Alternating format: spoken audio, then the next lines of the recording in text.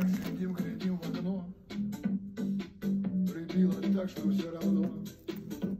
ты мол, пошел по комнате.